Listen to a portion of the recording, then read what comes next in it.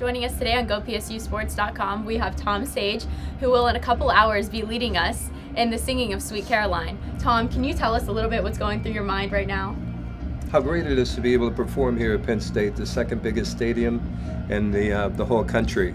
Uh, years ago, I performed at uh, Vet Stadium, before, well, it's gone now, but there were 68,000 people in attendance that day. But, but to be able to perform in front of 107,000 is totally amazing. I'm looking forward to it. How do you prepare for a performance in front of 107,000 people? I don't even know. Probably just what we had to do is we had to edit it, the the song down, so it was uh, a little bit I think on my, on my part. Uh, the song is three minutes long, so I think the uh, version they gave me is a, a minute and 40 seconds. So that was the hardest part of the whole thing, but I'm sure it'll go great. Well, we wish you the best of luck in your performance, and we're all excited to hear you sing today.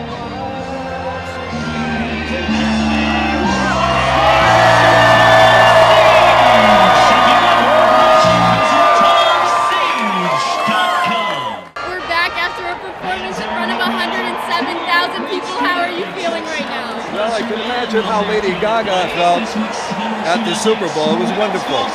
Fantastic crowd. I love Penn State. What's a memory you're going to take away from today? The people. I love the people. I watched the video on YouTube before, but to be here and to be able to do it in person was just incredible. Well, you did an amazing job, and thank you for being here today. Hey, it's a pleasure being here, and I'd like to thank everybody for inviting me.